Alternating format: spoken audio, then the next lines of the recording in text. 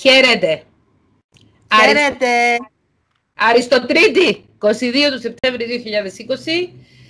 Κάτω από το βίντεο άνθρωποι που σε κοιτούν στα μάτια, έχει ένα πολύ ενδιαφέρον σχόλιο, το οποίο μας δίνει έναυσμα για βίντεο με τη δόκτωρα Αριστονίκη Θεοδοσίου Τριφωνίδου, η οποία είναι μεταξύ πολλών άλλων και διδάκτορ σχολικής εξελικτικής ψυχολογίας. Ρώτησε με ε, κάποιος φίλος, θα έκλαμπω πολύ ωραίο θέμα, αν μπορείς να επεκτείνεις το θέμα αυτό. Ξέρω παιδιά που δεν μπορούν να κοιτούν στα μάτια. Τι είναι, ντροπή, έλλειψη αυτοπεποίθησης ή άλλα τραύματα. Θα ήταν μεγάλη βοήθεια για εμάς τους γονείς να καταλάβουμε τι γίνεται με τα παιδιά. Και επέλεξα αυτό να το κάνουμε μαζί σου. Ωραία. Δικό λοιπόν, σου. Η βλεμματική επαφή γενικότερα είναι από τα πιο ουσιαστικά στοιχεία επικοινωνία. Ε, είναι σημαντική, ε, προάγει τον υγιή διάλογο και την συναίσθηση και είναι επί της ουσίας το α και το ω μιας υγιούς διαπροσωπικής σχέσης.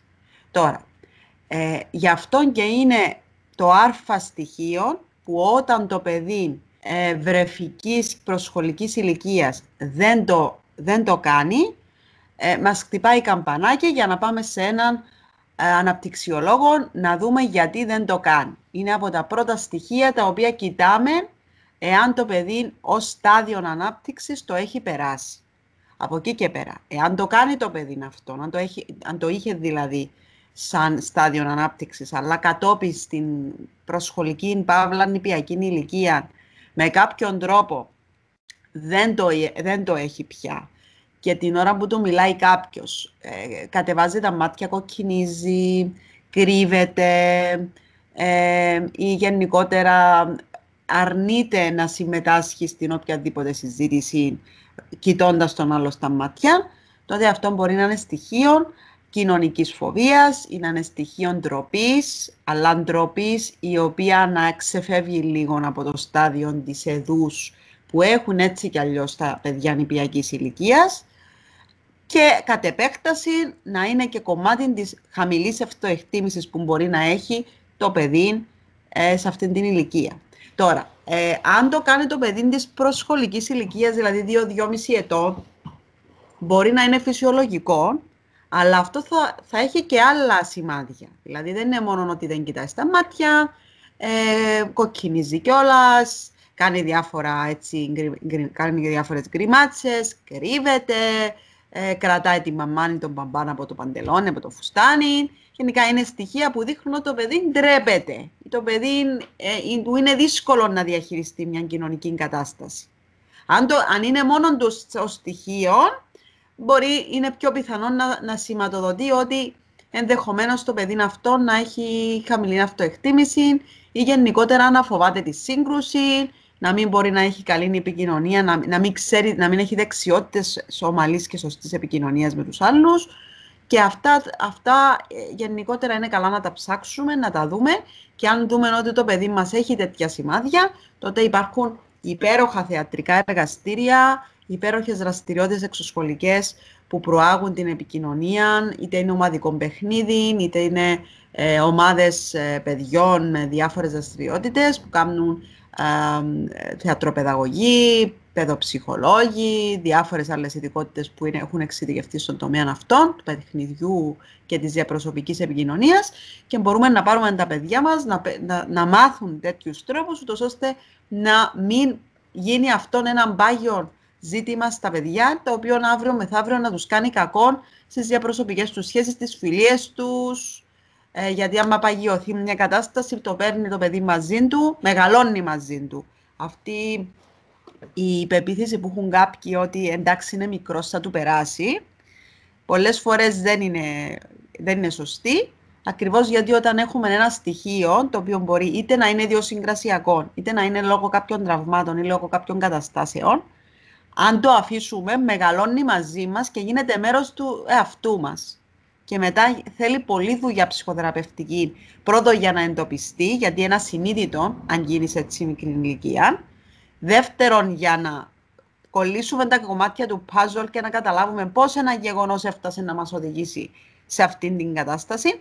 Και τρίτον, να θεραπευτούμε και να το αλλάξουμε και να αρχίσουμε να το βλέπουμε διαφορετικά και, να, ε, και οι άνθρωποι που μας ξέρουν να, να αρχίσουν να λένε «Μα τι έπαθε αυτός» και ξαφνικά ε, κάνει αυτό και εκείνον ενώ δεν το κάνει. Λοιπόν, άρα όλα αυτά είναι σημάδια τα οποία κανείς ε, όταν τα εντοπίσει είναι καλό να τα ψάξει. Ε, μην τα αφήσει γιατί μπορεί αυτά να οδηγηθούν σε μια άλλη κατάσταση, να οδηγήσουν μάλλον σε μια άλλη κατάσταση η οποία να μην μας εξυπηρετήσει τόσο πολύ. Ε, τη διάγνωση την κάνει, είπες, ειδικός παιδοψυχολόγος. Ειδικός παιδοψυχολόγος. Υπάρχει η ειδικότητα της παιδιατρικής, που είναι η αναπτυξιολογία, που μπορεί να παραπεμφθεί μετά από τον παιδοψυχολόγο σε ειδικό αναπτυξιολόγο γιατρών. Ε, και μετά να πάει και σε, αν, αν κριθεί απαραίτητο, μπορεί να πάει και σε παιδονευρολόγων το παιδί σε, και σε παιδοψυχίατρων, αν, αντίστοιχα δηλαδή. Αν δούμε ότι υπάρχουν θέματα προς διερεύνηση, παραπέμπεται σε άλλη ειδικότητα που θα δει άλλα ζητήματα. Μάλιστα. Ε, ο γονιός πρέπει να σπρώχνει το παιδί στο να έχει βλεμματική επαφή; Πρέπει να το πιέζει, έχει κάποιο τρόπο να το διδάξει; Όχι, να το πιέσει όχι, αλλά μπορεί να το κάνει δια του παραδείγματος του. Και μπορεί να το ζητήσει και να του πει, θέλω να μιλήσουμε, σε παρακαλώ, αν μπορείς, κοίταμε στα μάτια για να μπορέσουμε να μιλήσουμε, να μπορέσουμε να συνεννοηθούμε. Και κοιτάμε πάντα το παιδί μας στα μάτια όταν του μιλούμε. Εμείς κοιτάμε εμείς στα μάτια. Ήδη, φυσικά, εμείς οι ίδιοι, διδάσκοντας του έτσι ότι αυτός είναι ο ορθός τρόπος για να επικοινωνήσει κανείς επικοδομητικά με τον άλλον. Γιατί ε, πραγματικά είναι όλον το πρόσωπο, τώρα ας πούμε που φοράμε τις μάσκες, εμένα με δυσκολεύει πάρα πολύ στη δουλειά μου αυτό. Ε, πολλές φορές δεν... Λέμε στη δουλειά με τη μάσκα, γιατί δεν μπορεί ναι. να δει την έκφραση του προσώπου σου. Βλέπει λίγο τα μάτια, αλλά και τα μάτια χωρίς το υπόλοιπο είναι μεμονωμένο. Εντάξει, τα ναι. μάτια είναι πιο σημαντικό από όλα. Για να είναι μας... πολύ σημαντικά, αλλά ε, πολλές φορές δεν καταλαβαίνεις τη, τη φατσούλα του άλλου. Δηλαδή, ε, μου έχει τύχει να μην μπορώ να αναγνωρίσω κάποιον επειδή την πρώτη φορά ήρθε με μάσκα και να μην έχω συγκρατήσει ότι τα υπόλοιπα στοιχεία ε, είναι μέρος του, του συγκεκριμένου ανθρώπου. Οπότε είναι πολύ δύσκολο στη δουλειά μας τώρα και φαντάζομαι και στην εκπαίδευση. Γι' αυτόν τον λόγο και κάνετε και συνεδρίες στο Skype ε, συχνά, ούτως ώστε να τουλάχιστον να υπάρχει... Παίρνουμε ε, κοινή απόσταση. Εγώ δηλαδή τηρώ και το μέτρο της δύο μέτρων απόσταση για να αποφύγουμε τη μάσκα όταν είμαστε ένας προς έναν ε, για να γίνει σωστά η δουλειά μας. Ε, δηλαδή είναι πολύ σημαντικό, ε, ιδιαίτερα στο δικό μας τομέα, να επικοινωνούμε σωστά με τους άλλους. Και με τα παιδιά μας λοιπόν, διδάσκουμε δια του παραδείγματος μας πάντα, αν, αν εμείς μιλούμε στον άλλον κοιτάζοντας τον στα μάτια, είναι πολύ πιο πιθανό το παιδί μας να μάθει να το κάνει και αυτό το ίδιο πράγμα. Ε, αν όμως εμείς είμαστε υπατμών και όλη την ώρα τρέχουμε από το ένα στο άλλο και μιλάμε στα πεταχτά και δεν καθόμαστε ποτέ να κοιτάξουμε τον άλλο στα μάτια και να μιλήσουμε, τότε είναι πολύ πιθανό αυτό να είναι προϊόν της δικής μας επικοινωνιακής τακτικής και το παιδί δηλαδή να μην έχει μάθει αυτόν τον υγιή τρόπο να επικοινωνεί επειδή εμείς δεν το έχουμε διδάξει μέσα με το παράδειγμά μας. Ε, αν εμείς βλέπουμε κάτι πάνω στο παιδί και είμαστε η μαμά, για παράδειγμα, που έστειλε το μήνυμα, αλλά ο μαμπάς θεωρεί ότι δεν υπάρχει πρόβλημα και λέει: Ούτε το ψάχνεις τώρα, και εγώ μικρός έτσι ήμουνα, και εγώ μικρός δεν πολύ κοιτούσα, είναι ντροπαλό, άστο το μωρό. Δηλαδή, ε, παίζει ρόλο η έγκαιρη παρέμβαση σε αυτά. Πάντα, πάντα. Και ακόμα και αν διαφωνεί ο ένας εκ των δύο, δεν θα πάθει κάτι το παιδί εάν το ψάξετε παρά να το αφήσετε και αυτό να οδηγήσει σε πράγματα και καταστάσεις που μπορεί το παιδί να το ταλαιπωρήσουν αύριο μεθαύριο και να του κάνουν ζημιά στις διαπροσωπικές τους σχέσεις. Γιατί ε, οποιαδήποτε δουλειά και να κάνουμε, είναι πολύ ουσιαστικό το να μπορούμε να αντέξουμε, δηλαδή είναι θέμα υπόστασης.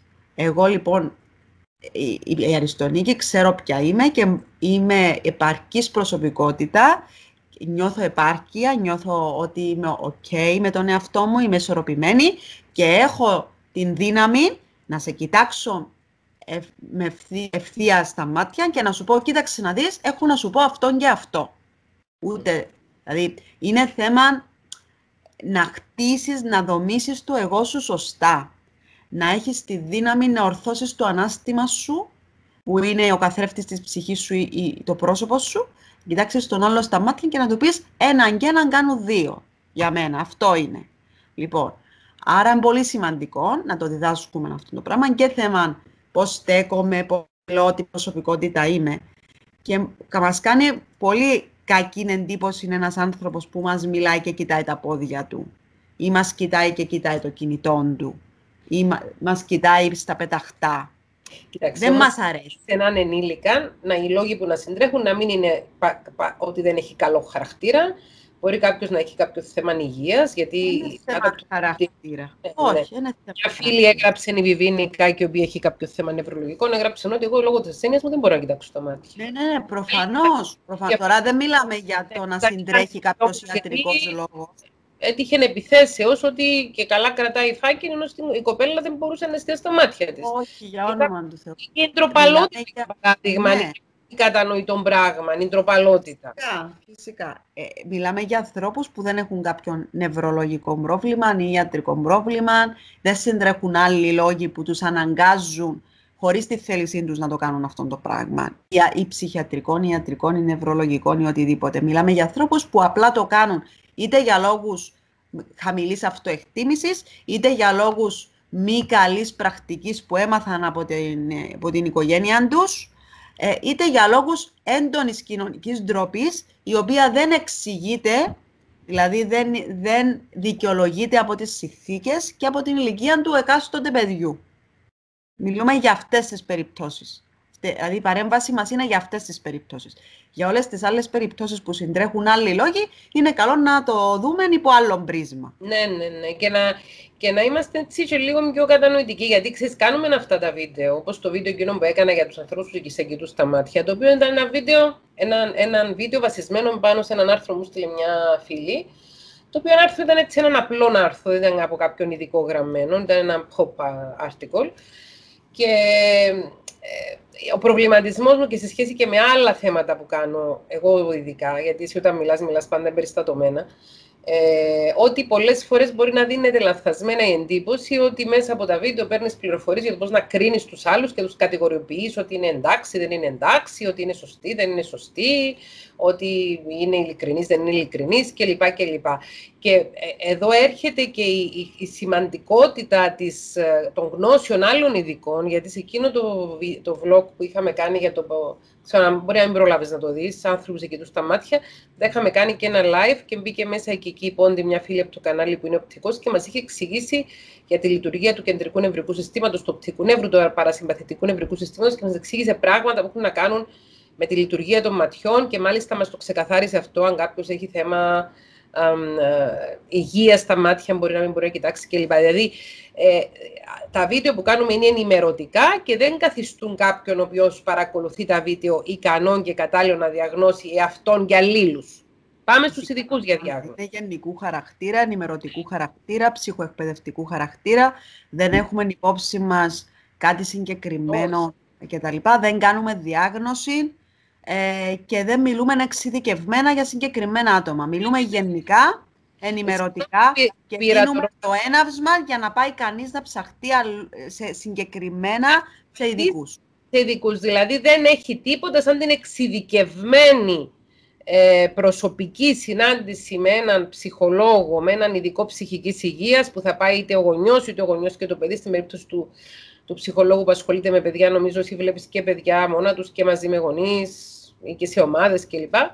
Ναι, ε, από τη χρήση των, των κατάλληλων ψυχομετρικών εργαλείων για το οποίο είναι επιστοποιημένος ο ψυχολόγος να τα χρησιμοποιήσει και την ε, διάγνωση της, την, την, την, εμπεριστα, την εμπεριστατωμένη και την έγκαιρη για το συγκεκριμένο πρόσωπο. Δηλαδή εδώ μπορούμε να πούμε διάφορα πράγματα τα οποία είναι υποθετικά.